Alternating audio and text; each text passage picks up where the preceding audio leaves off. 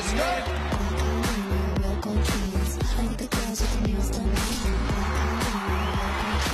You need to stop and get clever.